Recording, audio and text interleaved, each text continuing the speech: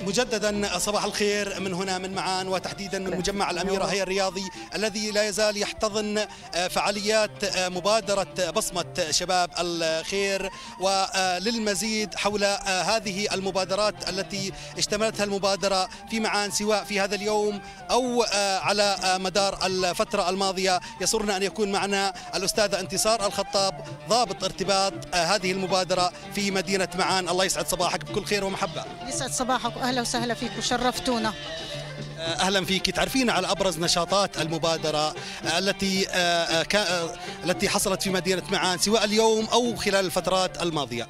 الله يسعد صباحكم اولا وبرحب فيكم وأنا بوجه شكر لمبادرة بصمة شباب الخير باسمه وباسم كل أبناء محافظة معان. طبعا مبادرة بصمة الخير كان لها أكثر من بصمة في محافظة معان. بحب أذكر منها كبداية اللي هي بصمة بنك الملابس. قدرنا نزود تقريبا ما يقارب الألف أسرة ملابس وكسوة الشتاء.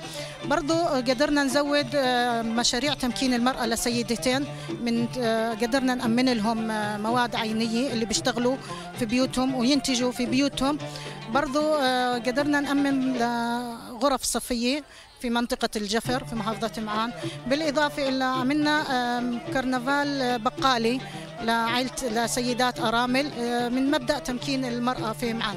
تمام. اذا المبادرات لم تشمل الأطفال فقط يعني كان لهم مبادرات في قطاعات مختلفة وسمعنا أن أيضا في على مستوى القطاع الطبي وإجراء العمليات وغيرها. يعني تحدثينا عن أبرز النشاطات التي حصلت وخصوصا في القطاع الطبي.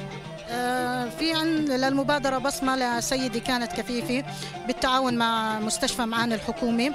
قدرنا أنه تزرع لها قرنية في مستشفى معان الحكومي عن طريق البصمة.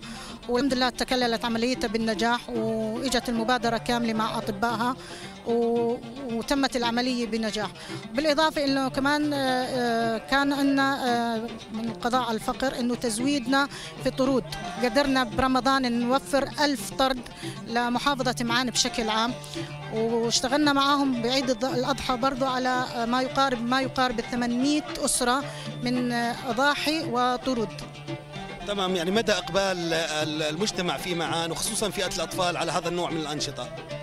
بالعكس كل المجتمع معا بكافة فئاته سواء سيدات سواء شيوخنا سواء أطفالنا بنرحب في بصمة شباب الخير في معان وبنرحب لأي نشاط والكل مشجع وبقدم كل التعاون لهم كلهم في مجال تخصصهم. إذا ضابط ارتباط مبادرة بصمة شباب الخير في معان نشكرك جزيل الشكر وبهذا مشاهدينا الكرام نكون تعرفنا على أبرز نشاطات المبادرة في مدينة معان لهذا اليوم. وعودة إلى زملائنا في استوديو البرنامج لاستكمال ما تبقى من فقرات